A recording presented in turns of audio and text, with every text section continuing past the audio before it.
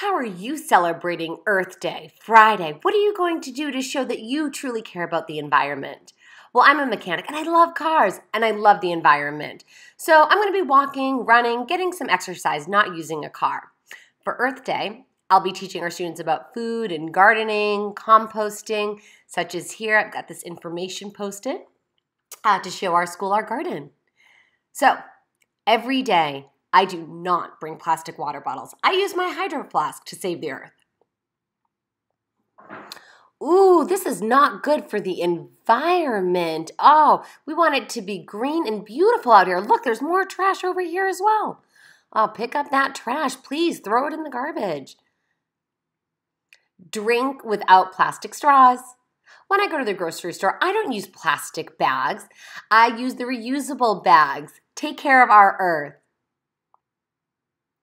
So now we are actually preparing to compost for Earth Day, which is coming up just tomorrow and throughout the year. In years in the future, we will continue to be sustainable. Hi, do you drink coffee every morning? I know you do. Well, here we go. Coffee grounds. What do you do? Throw them out? No! There are two things that you can do with these coffee grounds. Uh, one, compost. Second, feed them to your roses. Look at how simple this is.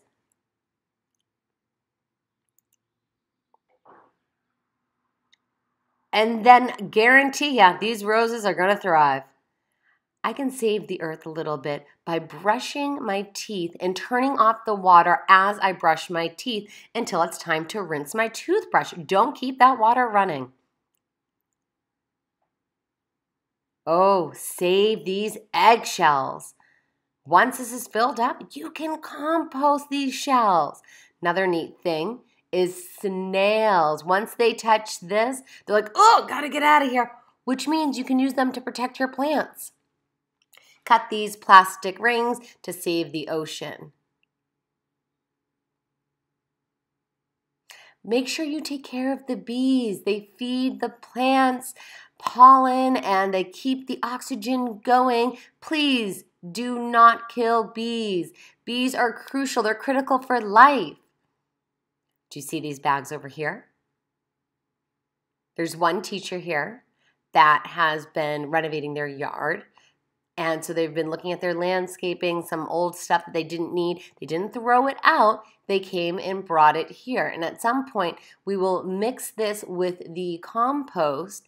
This, this will naturally dissolve. It'll take time, doesn't happen overnight, but it will dissolve overnight or over time rather. And then we can use this for the gardening. So it's a sustainable activity here. Hey, why are you eating those chips? Eat from the earth. Look what we got over here.